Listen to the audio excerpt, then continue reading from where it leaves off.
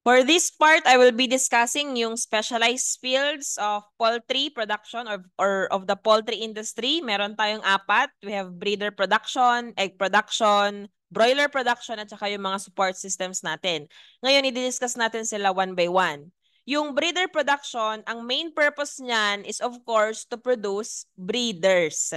O yung mga male and female breeders natin, yung mga roosters at saka yung mga hens natin. Kaya ang aim niyan is to make the best combination, sabi dito, make the best combination or provide the best combination of genes or parent stocks. Pag sinabi mong best combination of genes, pag pinag-cross ko ba itong, yung example ko kanina, pag pinag-cross ko ba yung rooster 1 at saka hen 2, mai-improve ba yung performance ng kanilang offspring or baka papangit? Yung mga ganyan. So, ang goal ng breeder production to produce yung mga breeder animals natin, male and female breeders. We have here the breeding pyramid. Meron tayong tinatawag na breeding or genetic pyramid na kung saan makikita natin dito sa tuktok, pinakamataas, yung topmost part, yung mga breeders or nucleus natin. Dito, nabebelong yung mga breeder farms. Big sabihin, elite yung mga hayop na nandito, elite yung mga manok, since pag sinabi nating elite, they are expensive kasi nga maganda yung klase ng mga manok or ng mga hayop na ito.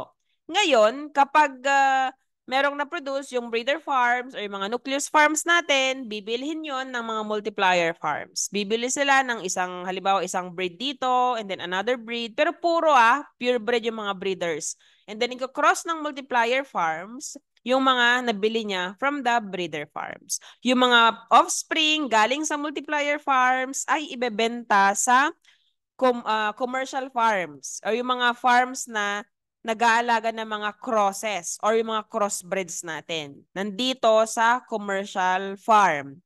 Kaya mas mura yung mga hayop na binibenta ng commercial farms compared to the breeder farms kasi halo-halo na yung mga nandito. Hindi na puro yung kanilang genetic makeup. Okay? Next, o sabi dito, ano ba yung another uh, purpose ng breeder production? To develop and reproduce strains of chicken that meet the requirements of chicken producer or processing companies. Kaya ini-improve yung uh, offspring generation or yung mga susunod na generations ay para ma-meet ang requirement. Ano ba yung requirement ng mga chicken producer or processing companies? Siyempre, mas gusto nila yung mas maganda yung klase ng karne or mas maganda yung klase ng itlog or mas malalaki, larger eggs. Ba ang gusto ng society or ang gusto ng consumers ay yung uh, medium size lang na eggs or baka ang gusto ng society or ng consumers ay 1.5 kilogram lang na broiler chicken. Ayaw nila lang 2 kilograms, etc.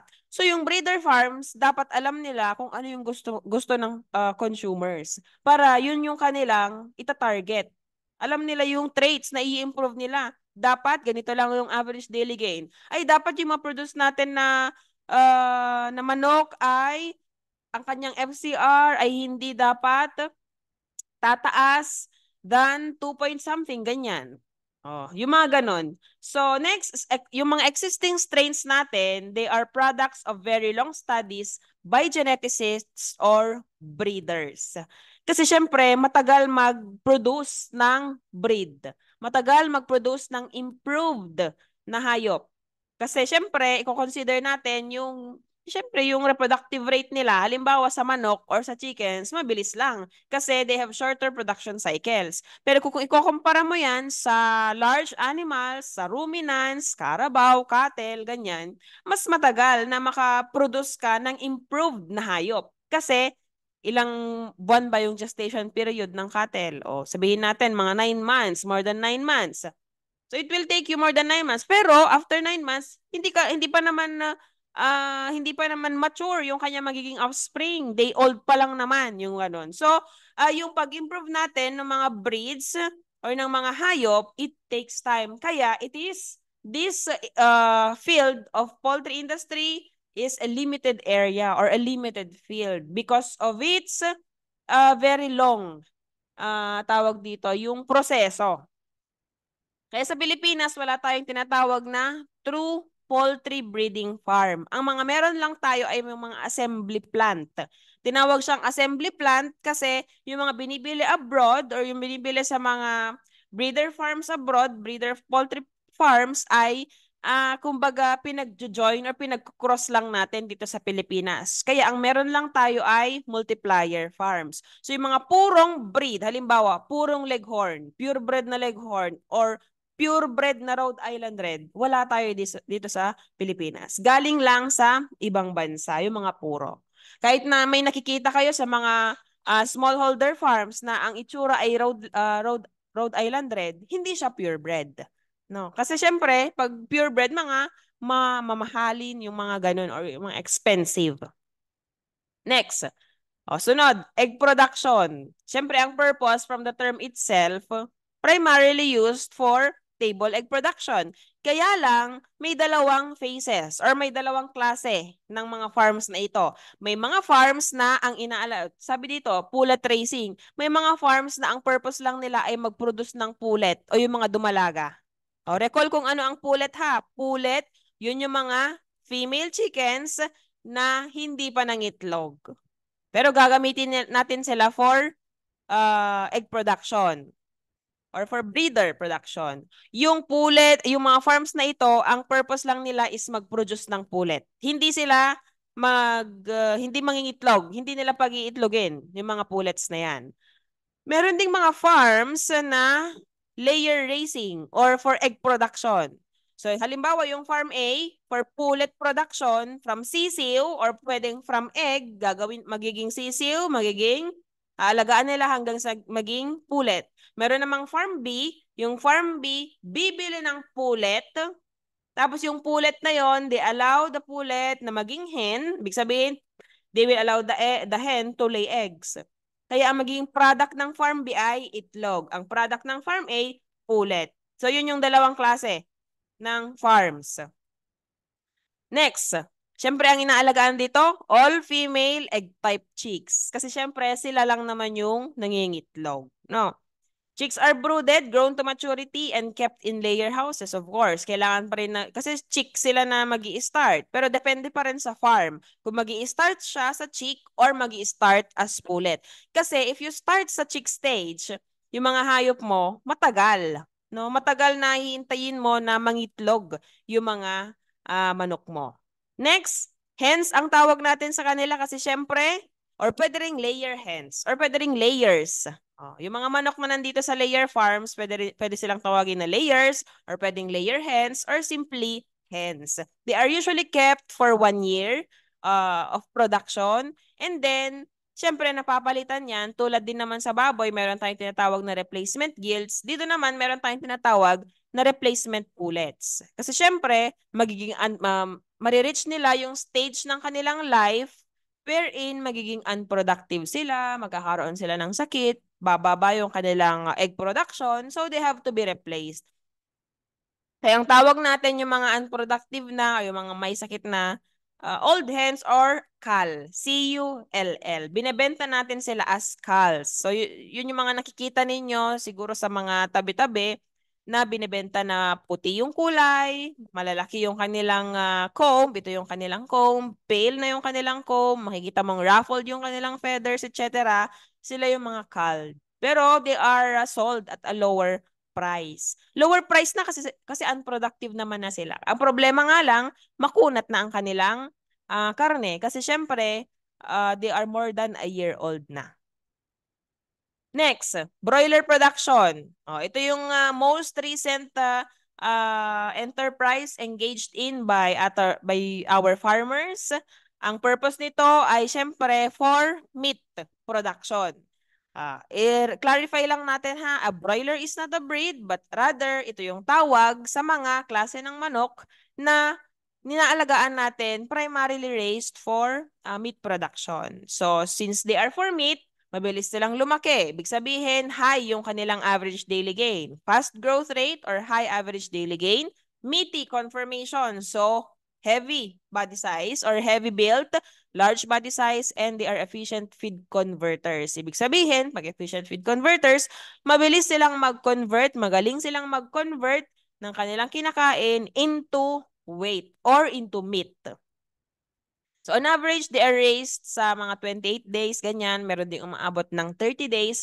Pero hindi na ito yung mga tinatawag natin na 45 days. Although ang familiar sa atin, ang alam natin is 45 days. Pero since nag-improve na, nag-improve na, meron ng advancement in technology, etc., na nabawasan na yung 45 days. Mas napaiksi na. Ibig sabihin, uh, mas maaga na nating uh, ima-market or ibebenta yung mga alaga nating broilers. And then last na, na field is yung mga uh, support and complementary industries natin. Kasi syempre, hindi naman magsasucceed or uh, magpo-progress yung poultry industries natin, mapa-breeder production man yan, table egg production or broiler production, kung wala itong mga pagkukunan natin ng inputs at kung wala tayong pag uh, didisposan or pagbebentahan ng ating mga outputs. So, saan galing yung mga feeds natin? Of course, sa feed milling industries. We, we also have yung mga industries producing medicine or yung mga kailangan na vitamins, antibiotic, vaccine, etc., feed supplement, and biological preparations. Nandun din yung mga pag uh, farm equipment manufacturing industries. Dito natin kinukuha or uh, binibili yung mga halimbawa weighing scale or yung mga ginagamit natin to measure yung kanilang egg yolk color, etc. So nandito, farm equipment and manu manufacturing. And then lastly, dito natin dinidispose yung mga outputs natin or yung mga produce natin poultry and egg processing. Ay, by the way, dito sa farm equipment and manufacturing, dito din nabebelong yung mga incubators natin, yung mga hatchery natin, yung mga yon. So dito, poultry and egg processing, storage and distribution of products. Kaya nga sinasabi natin na basta mag, uh, or before ka mag-establish ng any uh, enterprise mo, baboy man yan, poultry man yan, or ruminant, you have to have a market. No? Para hindi naman sayang yung capital mo or yung effort mo, yung money mo and time. So as a summary, ito yung kanyang structure. This is the structure of the poultry industry and its related industry sectors. Galing ito kay uh, Sir Lambio in the uh, yung published na references, na reference rather in 2016. So ito yung mga farms natin. We have the breeding or multiplication farms or yung mga multiplier farms natin. Meron din tayong commercial and backyard farms. Pero syempre, since 2016 ito na-publish, hindi pa na-consider yung tatlong classification ng PSA, the smallhold, semi-commercial, and commercial farms. So, syempre, kung makikita natin yung backyard poultry farms, walang nakakonect na arrow sa kanya, papunta sa kanya ha, walang arrow na pupunta sa kanya. Kasi yung mga backyard farms natin, they are self-sufficient. Ang ibig sabihin nun, karamihan sa mga backyard farms, hindi na bumibili ng feeds, napakain sa kanilang mga manok. Or hindi na bumibili ng mga medicine para sa kanilang mga manok, hindi na bumibili ng incubator. O, yun yung uh, scenario ng poultry industry ng backyard poultry farms. Pero syempre, merong araw palabas sa kanya kasi syempre ide-dispose niya, ibebenta niya i-distribute yung kanyang mga alaga or yung mga produce niya sa poultry, supply retailers, at saka yung mga tinatawag nating viajeros or yung mga sa, sa market, binibenta sa market. Ngayon, sa commercial poultry farms, meron kang maraming araw. Kasi syempre kapag commercial poultry farms, intensive yung kanilang production. Nakatutok talaga sila kasi malakihan, large scale yung mga nandito. So they have to uh, procure yung kanilang inputs galing sa, syempre, yung mga feeds na pinapakain, commercial feeds, galing sa feed milling companies.